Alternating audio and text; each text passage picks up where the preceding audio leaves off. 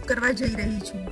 આ છે એ સામાજિક વિજ્ઞાન વિષયને લગતી ચેસ છે. આ ચેસ જાતે નિર્માણ કરેલી છે.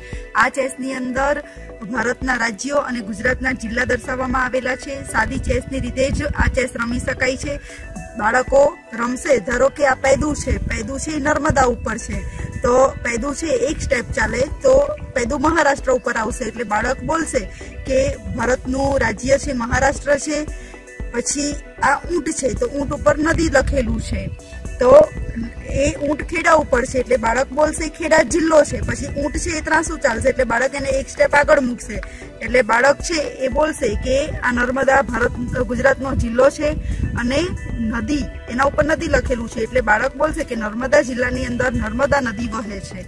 આ રીતે બાળક છે એ રાજ્ય અને જિલ્લાઓની માહિતી મેળવશે. એવી જ આ એક બીજી રમત છે. આ બીજી રમતનું નામ છે ગાડી લઈને ગાંધીનગર જઈએ. આ અમદાવાદની જેમ જ રમવામાં આવે છે. આ રમત છે ગાડી ગાડી દ્વારા રમવામાં આવે છે. ચાર બાળકો છે, એ આ રમત રમી શકે છે. આ રમતમાં પાસા દ્વારા અંક પાડવામાં આવે છે. તો ધારો કે પાસા ઉપર એક અંક પડ્યો, તો આ ગાડી છે એ એક નંબર ઉપર જ છે. પછી બાળક બીજી વખત પાડશે. તો પાંચ પડ્યા. એટલે બાળક છે એ પાંચ નંબર આગળ ખસશે. એક, બે, ત્રણ, ચાર ને પાંચ. હવે બાજુમાં ગુજરાતનો નકશો આપેલો છે. અહીંયા છ નંબર છે. એટલે બાળક અહીંયા જોશે કે છ નંબર પર કયો જિલ્લો છે. એટલે બાળક શોધશે કે છ નંબર ઉપર. તો છ નંબર ઉપર વડોદરા જિલ્લો છે. એટલે બાળક સમજશે કે જીજે છ એટલે વડોદરા. આ રીતે નંબર પ્રમાણે બાળક જિલ્લા પણ યાદ રાખશે અને એને જિલ્લા યાદ રાખવામાં સરળતા પણ રહેશે. પણ એક રમકડું છે.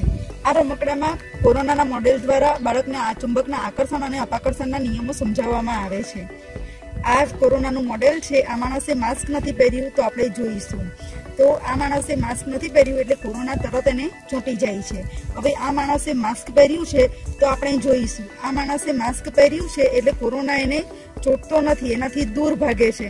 એટલે જો આપણે સરકારશ્રીની ગાઈડલાઈન પ્રમાણે વર્તીશું તો આપણને કોરોના ચોંટશે નહીં અને આ મોડેલ દ્વારા આપણે બાળકને ચુંબકના આકર્ષણ અને અપાકર્ષણના નિયમની સમજૂતી આપી શકીશું.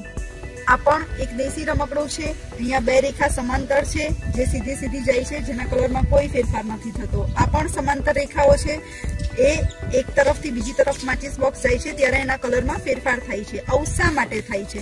તો અહીંયા બે સમાંતર રેખા એકબીજાને છેદે છે, તેના કારણે આવું થાય છે. અને આ બે સમાંતર રેખા એકબીજાને છેદે છે, જેના દ્વારા બાળકને આપણે અભિકોણની જોડ, રેખિક જોડના ખૂણા વગેરે શીખવી શકીએ છીએ. આ પણ દેશી રમકડા છે. આ વિજ્ઞાનના નિયમ ઉપર કાર્ય કરે છે. આ પણ એવું જ છે. આ પણ દ્વિપરિમાણીય આકૃતિ છે અને ફેરવીશું ત્યારે ત્રીજી આપણને દેખાશે, પણ એક રમકડું છે. આ ગોળ ગોળ ફરિયાદ કરશે. બાળક એમાં કુકરી નાખશે. દરેક નંબર સાથે છે. એ પ્રશ્ન સંકળાયેલો છે. જે નંબર ઉપર કુકરી અટકશે, એ નંબરનો એ નંબરની સામેનો પ્રશ્ન વાંચી અને બાળક જવાબ આપશે. આ રીતે આ ચક્કર છે, એ કામ કરે છે.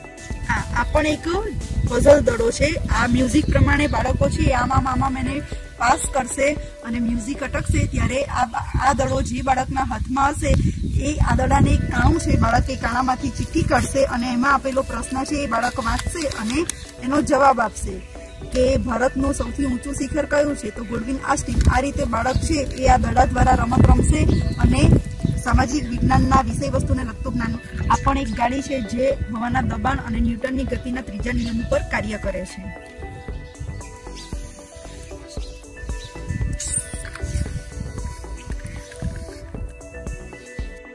આ વિવિધ આકારો છે. એ વાલટ્યુબ અને માચિસની સળીમાંથી બનાવેલા છે. આ ત્રિકોણ છે, જેના દ્વારા બાળક સમજી શકે છે કે ત્રિકોણને ત્રણ ત્રણ ખૂણા અને ત્રણ બાજુઓ હોય છે. એવી જ રીતે આ ચોરસ, આ ચતુષ્કોણ, આ પતંગાકાર ચતુષ્કોણ, પંચકોણ અને ષષ્ઠકોણ એવી રીતે બધા જ આકારોની માહિતી અને અંગો વિશે જાણી શકે છે.